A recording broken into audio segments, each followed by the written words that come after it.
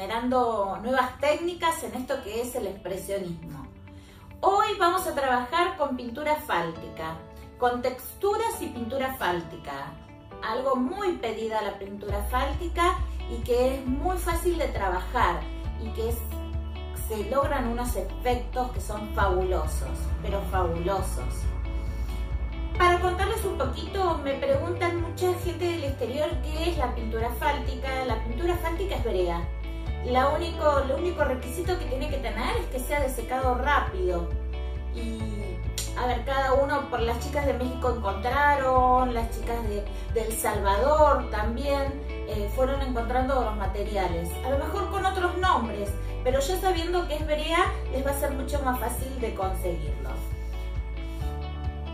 Vamos a trabajar, vamos a hacer un trabajito que es sobre textura, los texturizadores, tanto puede ser queso como puede ser también un texturador casero, que lo voy a explicar cómo hacerlo y es con un poco del enduido, enduido de, paredes y cola vinílica. En eso consiste. Trabajo simple, sencillo y es el ABC. Yo siempre les digo a todos mis alumnos, yo les doy la tabla del 1 para que ustedes de esto sea el disparador para hacer un montón de cosas. Yo te enseño la técnica y no llevar y para crear, para generar nuevos cuadros, eh, tu creatividad a full con las herramientas nuevas que vas incorporando. No hablo más y nos ponemos a trabajar, ¿sí? Nos encontramos ahora después de trabajar en un ratito.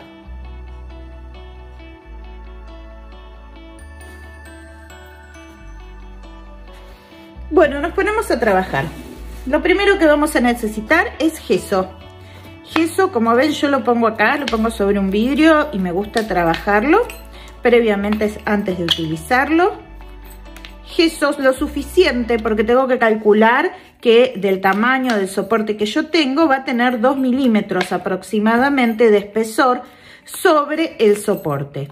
En mi caso traje un bastidor donde quería mostrarles que eh, está reciclado. Cuando nosotros trabajamos con textura, lo ideal que tiene trabajar con textura es poder reciclar nuestras telas de obras o que ya no nos gustaron o que no nos salieron y poder reciclarlas. Voy por acá. Simplemente voy a colocar un poco de gesso sobre toda la obra de hecho, las texturas que me quedaron, que esta es una tela que yo había utilizado para practicar algunas texturas, le pongo 2 milímetros de espesor para poder generar bajos relieves. Ese espesor que nosotros le estamos poniendo lo que nos va a permitir es generar unos lindos bajos relieves que con la pintura fáltica van a resaltar. Consulta que me hacen, comúnmente las alumnas en el taller. ¿Es lo mismo el gesso que el enduido, lo que se utiliza para paredes? No, no es lo mismo. El enduido que se utiliza para paredes no tiene un pegamento o algo que se adhiera, no estamos seguros de la adherencia sobre la tela. Y la regla cuando uno trabaja con texturas, sí o sí, es que lo que nosotros ponemos en el bastidor nos tiene que quedar. No puede caerse, no puede romperse. Tenemos que estar seguros que todo lo que nosotros ponemos sobre nuestro soporte se mantenga, ¿sí? Por eso el enduido de las, de las casas que se utilizan generalmente para paredes solo no alcanza. Yo acá estoy trabajando con gesso. Pongo los 2 milímetros de textura y sobre esto voy a trabajar con una textura un poco más pesada visualmente, no por el, peso en sí, porque son las piedritas que se utilizan en las bateas de gato, que no son muy pesadas, pero sí tiene un peso visual muy importante. Es una textura mediana, no es de las grandes que comúnmente nosotros hacemos en la especialización, donde hemos trabajado hasta con piedras bien grandes en incrustaciones. Voy a colocar un poco de estas piedras para generar algún diseño y algunas texturas que después me van a servir para dar el diseño de la obra con la pintura fáltica. Voy a colocar por acá un poco más del gesso para que se incorpore entre las piedras que yo estoy trabajando y ya generar una buena, buena textura.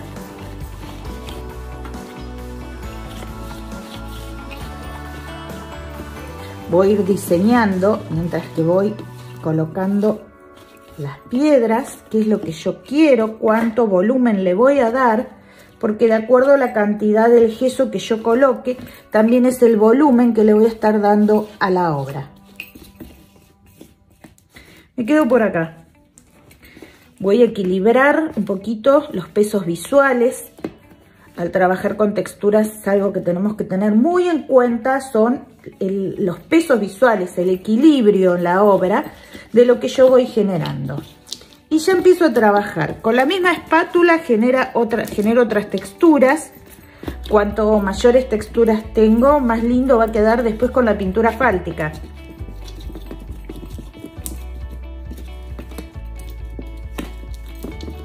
Ya este año ya vamos por el segundo, unos, los chicas, ya un grupo de chicas ya terminó la especialización en pintura fáltica, que son cuatro módulos, y ya la brevedad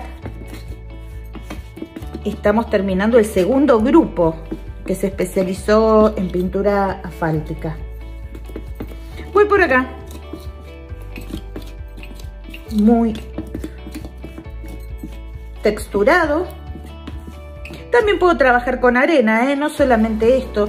A mí me gusta este volumen que le da esta tridimensionalidad que le ofrece las piedras al cuadro, pero también podemos generar otras texturas colocando también arena. Por acá me quedo. Esto es la parte que ahora tendríamos nosotros que secar y se tiene que trabajar muy seco este trabajo para que no se ancle la pintura, no se ancle la pintura fáltica, es decir, no se pegue, no se adhiera y no la podamos mover, ¿ok? Por acá estamos con toda nuestra textura. Yo ya tengo uno que está acá, que ya está más sequito, no tiene tanta textura, pero también nos va a servir para trabajar lo hice con un poquito menos de textura. Pero ahora van a ver en esta parte de acá cómo la textura empieza a salir y a surgir con la pintura fáltica. Sacamos todo lo que es la parte de enduido, o mejor dicho, gesso, no enduido, y vamos a trabajar. Por acá vamos a trabajar con estos aplicadores, donde yo tengo preparada ya un poco de pintura fáltica con aguarrás, que es, tipo un yogur bebible lo que formo en este. Y estos son diferentes frasquitos que tienen aguarrás con mayor y menor cantidad de pintura fáltica. ¿Sí? El aguarrás común que nosotros utilizamos en las casas es lo que comúnmente vamos a utilizar ahora. Voy a agarrar el aplicador y voy a empezar el diseño mío por acá con un poquito de el aplicador. Simple, sencillo, sin muchas vueltas. Agua ras, limpia, limpita pipeta. Empezamos a ver, vamos a buscar otra pipetita. No, nos está sirviendo. Vamos a empezar a poner agua ras para que empiece a mover esta pintura fáltica.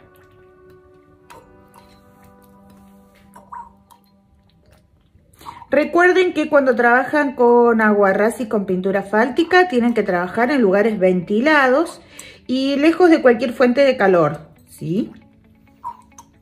Dos condiciones para trabajar con la pintura fáltica. Por acá ya estamos. Pinceleta y con esto me voy a ayudar a mover un poco más esta pintura fáltica.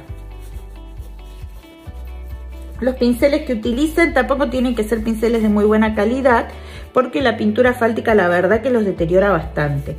Así que busquen los pincelitos viejos que tengan en casa como para poder trabajar y no los nuevos. Porque con los nuevos es más o menos como tirar un poco del dinero ya que se rompen y se deterioran fácilmente. Voy a volver con un poquito de agua ras limpia para que se mueva un poquito más esto. Y empiezo a jugar, es más, voy a tirar un poquito del agua ras directamente. Me voy a ayudar así. Y voy a empezar a moverlo. Para que empiece a penetrar sobre todo los bajos relieves.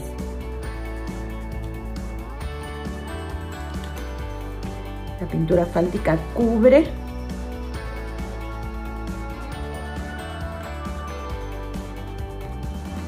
todo el soporte. Esta es la primera parte del trabajo.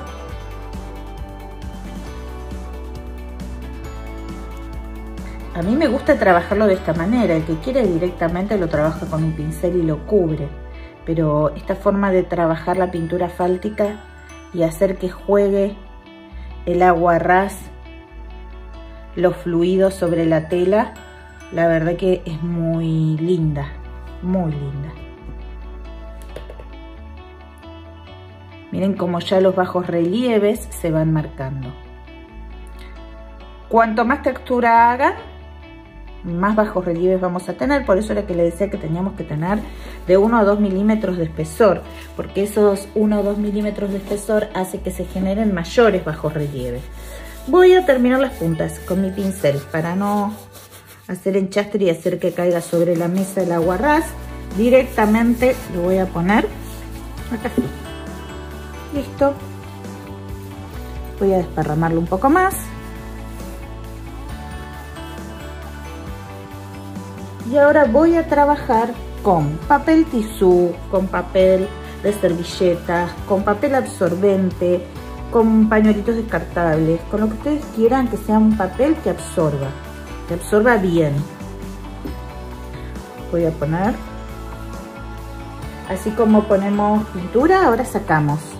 En un primer momento ahora vamos a dar un poco los bajos relieves, que después los vamos a marcar un poquito más tengo algunos lugares lisos que los dejé en esta obra para mostrárselos a ustedes también cómo respondían las texturas, por eso no puse tanta textura como en el primero. Lo ideal de poner textura es como les puse en el primer paso, donde eran texturas bien marcadas. Acá trabajé con ambas texturas para que ustedes puedan ver la diferencia.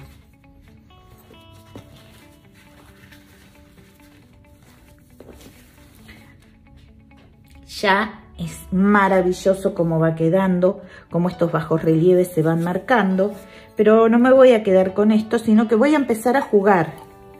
Voy a jugar un poco y voy a hacer que se vaya abriendo la pintura fáltica y generando otros efectos. Ojalá la cámara pudiera, yo no sé si la cámara llega a tomar estos efectos que se van generando con el agua ras y la pintura fáltica. Estamos generando ahora también unas texturas visuales que les pueden servir, gustar. Yo les voy a dar varias opciones. En una misma obra, en esta, les voy a mostrar cómo pueden trabajar y generar algunos efectos simplemente con algunas gotas.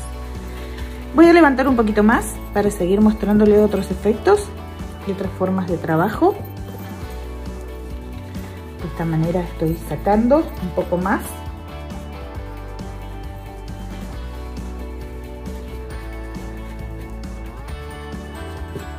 y ahora voy a trabajar con el aguarrás que yo tengo que es un aguarrás con un poco de pintura fáltica que es otra de las formas en las que yo puedo colocar la pintura fáltica al revés, así como trabajaba con gotas que sacaba, de esta manera también puedo trabajar incorporando manchas a la obra.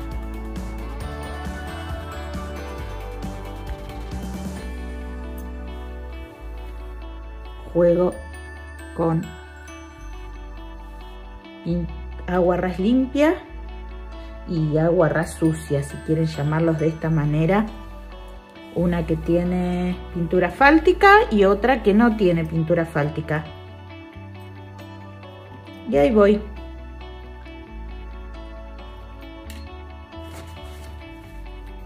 Muevo un poco lo que tengo acá, estos fluidos que se van generando.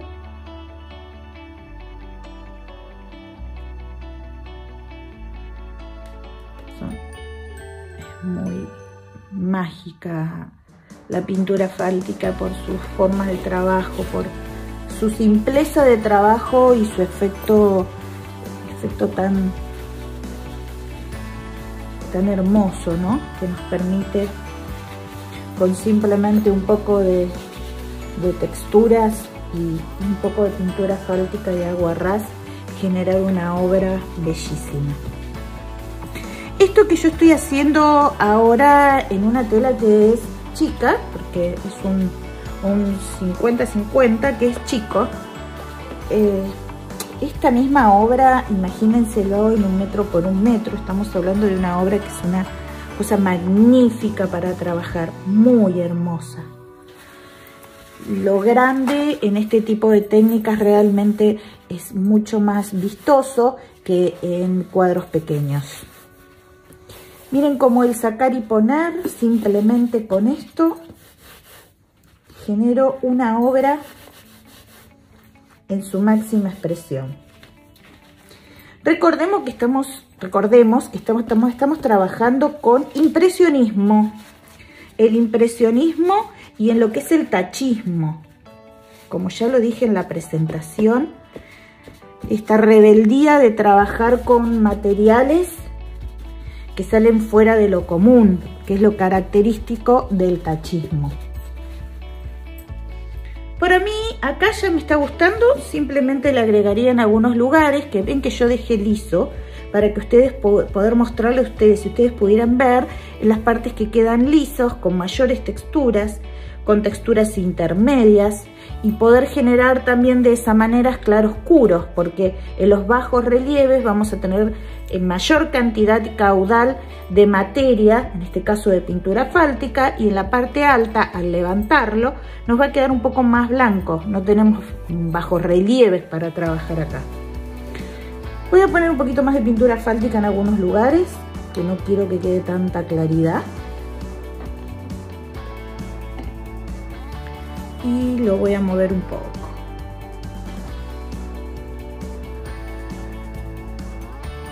Nuevamente voy a colocar otro poco de agua para generar nuevos efectos. Lo que tiene esta clase de pintura es que uno empieza a trabajar pero no sabe cuándo termina.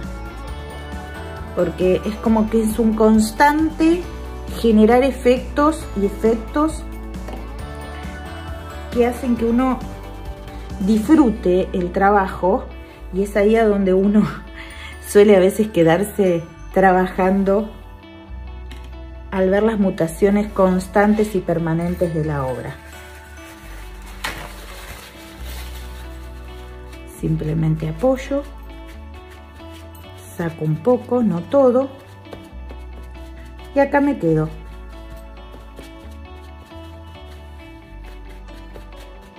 voy a poner, levantar un poquito las sobre relieves para generar unas claridades y que tenga un mayor contraste y una mayor tridimensionalidad, eh, lo que es texturas más elevadas al estar más claras que su parte inferior. Un poco por acá, miren un poco oscuridad por acá. Con el mismo papel lo voy a correr para no levantar, sino correrlo y hacer que trabajen estos sepias que son impresionantes que se pueden lograr con la pintura fáltica. Son unos sepias maravillosos, pero maravillosos, que solo la pintura fáltica lo da. Miren qué, qué lindo que es. Acá quedó muy oscuro, como quedó muy oscura esta punta, como la vemos acá que está media oscurita, tranquilamente puedo poner un poquito más de agua ras ir blanqueando esto exactamente igual.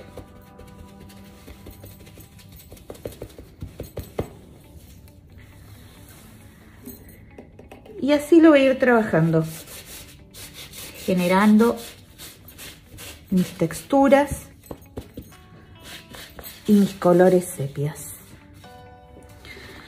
Bueno, nos encontramos ahora que nos despedimos y charlamos un ratito. Yo le voy a dar a los bordes. Recuerden que los bordes, los bordes se pintan exactamente igual que como pintamos nosotros la obra. Los bordes acá estoy diciendo, vamos por acá. Lo vamos a pintar, vamos a ponerle también aguarrás a los bordes. La obra tiene que quedar íntegramente toda completa, pintada.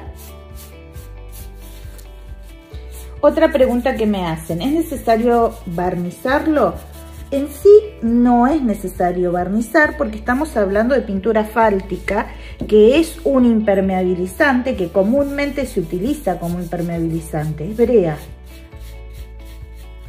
Pero en el caso de que les quede muy opaco, porque como en estos casos donde dejamos poca pintura fáltica, quieren resaltarlo con un poco más eh, de brillo, con un barniz satinado que le quieran dar, sí. Pero vuelvo a repetirles, no es que sea necesario sí o sí como es en el acrílico, que estamos necesitando barnizarlo. Bueno, por acá me quedo. Yo voy a seguir trabajando un poquito más, nada más que para generar algunos lugarcitos que quiero darle más luz. Y ya nos encontramos ahora, nos despedimos y hablamos un ratito.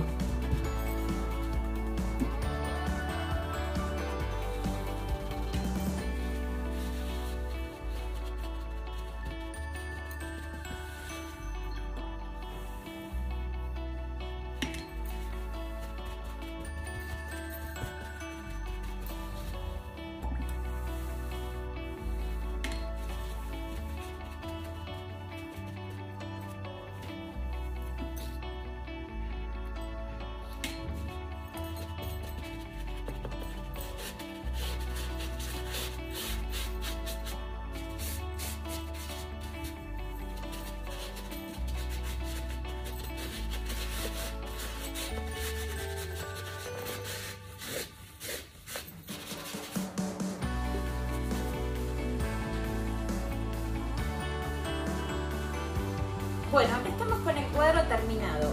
Hoy es chiquito porque mi idea era poder empezar y terminar el cuadro en el tiempo que tengo. Imagínense en ese cuadro en un tamaño grande. En esto en un metro por un metro. La verdad que es, es una técnica para trabajar en grande y que se luce mucho más en grande. Pintura fáltica, yo ya estoy terminando la segunda especialización del año. Son cuatro meses donde trabajamos pintura fáltica con acrílico, con óleo, con goma, eh, en todas sus variedades de lo que se puede utilizar este material tan noble como es la pintura fáltica. Gente, les dejé un montón de tips y de secretos. Y bueno, con esto a brillar y hacer cuadros espectaculares. Obviamente que espero que me manden las fotos. Todas las consultas las respondo por privado. Eh, mándenme a mi WhatsApp, que ahí seguro voy a leer todo lo que me consulten, ¿sí? Así que bueno, fue un gusto y nos estamos encontrando en la próxima. Un beso grande, un beso para Pato Uriburu y a todas mis alumnas que siempre están ahí haciéndome el aguante. Un beso enorme.